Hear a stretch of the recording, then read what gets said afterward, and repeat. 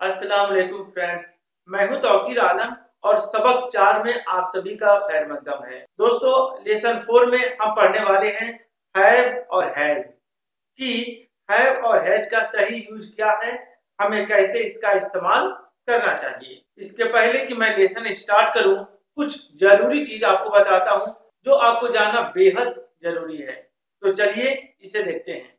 Person, कितने type के होते हैं? तो आप कहेंगे पर्सन तीन तरह के होते हैं या तीन टाइप के होते हैं। अगर वो आपसे पूछे कौन कौन तो आप कहेंगे I we first person I we पहला।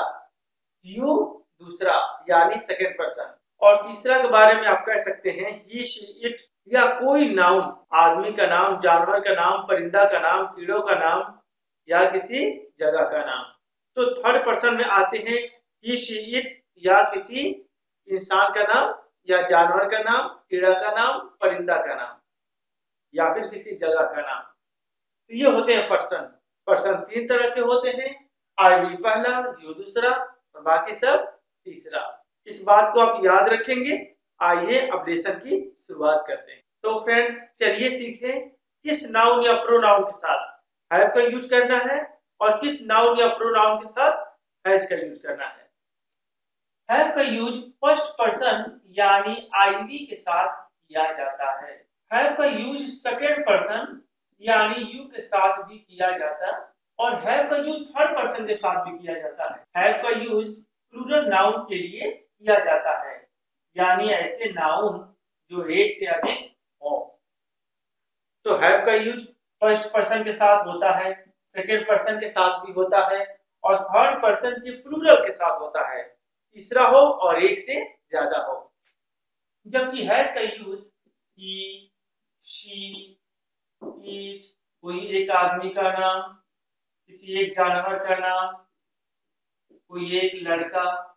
तो हैज़ का प्रयोग जो होता है, वो सिर्फ़ थर्ड पर्सन के सिमिलर नंबर के साथ होता है। तीसरा हो और अकेला हो थर्ड पर्सन के सिमिलर नंबर के साथ होता है। तो यहाँ हम ये बात याद रखेंगे। कि हैव का यूज़ फ़र्स्ट पर्सन आई के साथ होता है सेकेंड पर्सन यू के साथ भी होता है, यानी एक से ज़्यादा के लिए किया जाता है। जबकि हैव का यूज़ बस थर्ड पर्सन का सिंगुलर नंबर तीसरा हो, अकेला हो तो हम हैज़ का यूज़ करते हैं। तो चलिए फ्रेंड्स इसको ट्रांसलेट करते हैं और मैं आपको दिखाता हूँ कि ट्रांसलेशन का काम कितना आसान होता है। बेहद आसान होता है फ्रेंड्स एक बार एक बार ट्राई करके देखिए, आप पाएँगे कि अंग्रेज़ी बहुत आसान थी। बस आप ट्राई नहीं कर रहे थे। पानी पियो, छान के, उस्ताद बनाओ जान के। अगर आपने उस्ताद समझ बुझ कर नहीं बनाया तो फिर कामयाबी आपके पास हो ही नहीं सकती। चलिए ट्रांसलेट करके दिखाता हूँ। मैं एक खूबसूरत कार रखता हूँ। कैसे ट्रांसलेट करेंगे? जो वर्ड सबसे पहले उसका अंग्रेज़ी सबसे पहले लिखिए, जो वर्ड बाद में उसका अंग्रेज़ी दूसरे नंबर पर लिखिए, और जो वर्ड बीच में है उसका अंग्रेज़ी हम तीसरे नंबर पर लिखेंगे। अगर आप ऐसा करेंगे फ्रेंड्स तो आपके सेंटेंसेस कभी भी गलत नहीं होगा। पहले मैं मीनिंग क्लियर करा दूँ। मैं को अंग्रेज़ी में आई कहते हैं, एक को ए खूबसूरत का ब्यूटीफुल कार को तो कार ही कहते हैं, और रखता हूँ का अंग्रेज़ी हैव या हैज़ आई वी यू और किसी प्लूरल नाउन के साथ हैव का यूज़ होता है और किसी सिंगुलर नाउन या ही सी इट के साथ हैज़ का यूज़ होता है। चलिए इसे ट्रांसलेट करते हैं। मैं को अंग्रेज़ी में कहेंगे आई रखता हूँ, यानी हैव मैंने पहले और दूसरे नंबर की अंग्रेज़ी लिख दिया।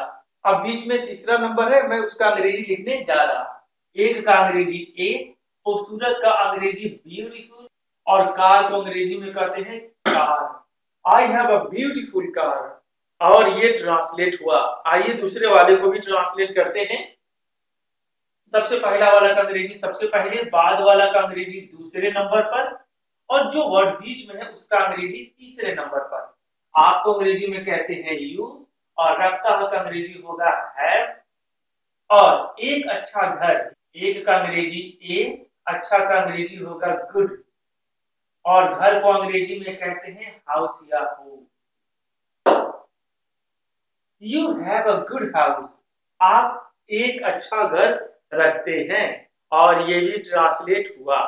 आइए कुछ एग्ज़ाम्पल और देखते हैं ताकि कंसेप्ट आपको अच्छा से समझ में आ सके. चलिए इसे भी ट्रांसलेट करते हैं. उसके पास एक लाल साड़ी है. दूसरा वाक्य है, मेरे पास एक नेक दोस्त है और तीसरा है हम लोगों के पास सब्र है। चलिए एक एक करके ट्रांसलेट करते हैं। सबसे पहले मैं आपको मीनिंग बता दूँ। उसका अंग्रेज़ी होता है ही। अगर हमने किसी मुजक्कर को समझा है तो। अगर हमने किसी मुन्नस को समझा तो सी का यूज़ करेंगे। और पास है का अंग्रेज़ी है होता है। इस पास को यहाँ पे रहना चाहिए। लेकिन सेंटेंस की बनावट के हिसाब से यहाँ पर आ गया है। जैसा कि आप पिछले वाले सेंटेंस में गौर किए कि रखता हूँ या रखता है है के बगल में रखता आ रहा था। खैर, कोई बात नहीं, हम यही समझेंगे, ये पास यहाँ पर है, ओके? एक का अंग्रेज़ी ए लाल का अंग्रेज़ी रेड और साड़ी को साड़ी कहते हैं। तो चलिए फिर ट्रांसलेट करते हैं।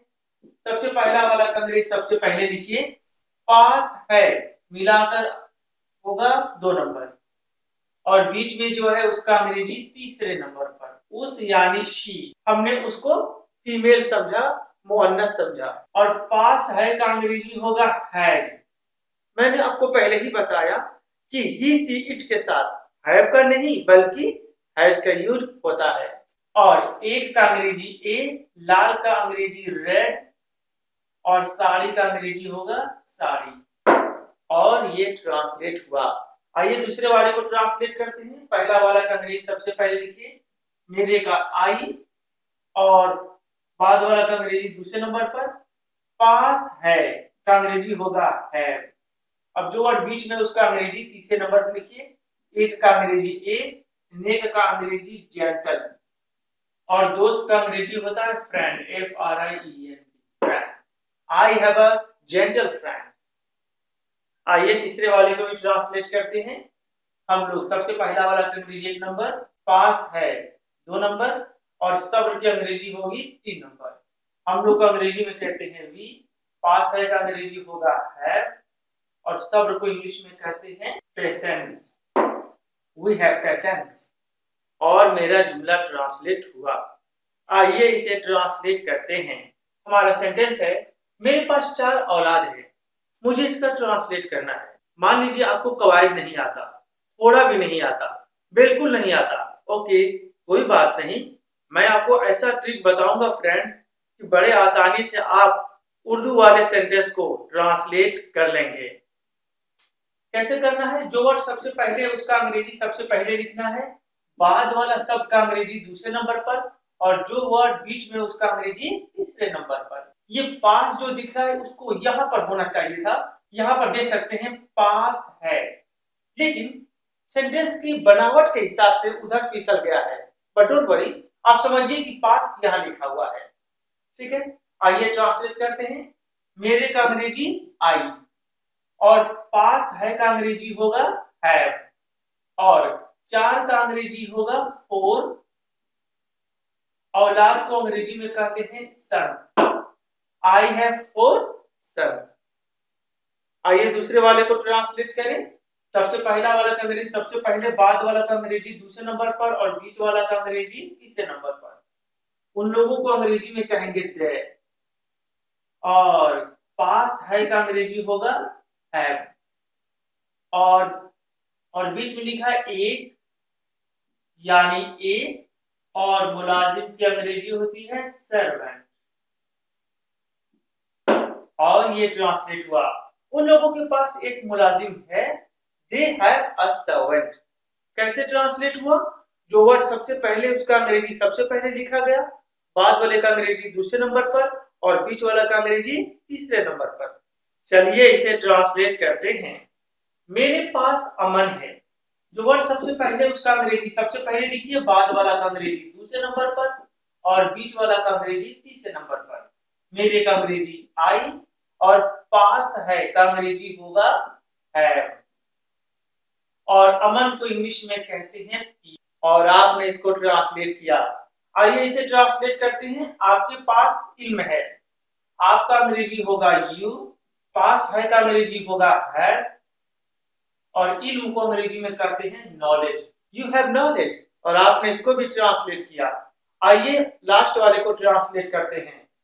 उसके पास वक्त है। सबसे पहला वाला का अंग्रेज़ी सबसे पहले लिखिएगा, बाद वाला का अंग्रेज़ी दूसरे नंबर पर, और बीच वाला का अंग्रेज़ी तीसरे नंबर पर।